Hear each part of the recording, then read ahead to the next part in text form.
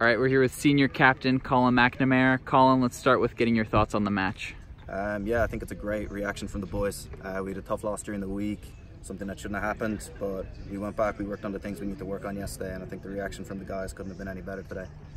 Um, really, really proud of them, what they achieved, and it's really, really positive signs for the season to come. All right, four matches in now. You got a long road trip coming up. Uh, next couple matches on the road. What are your thoughts on that?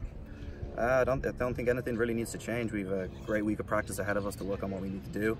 And then it's just about kind of taking the same intensity we have when we have the home fans. They're always great to come out. We need to take that intensity, that momentum on the road with us and kind of roll with it. Perfect. Thanks, Coilin. No problem. Thank you.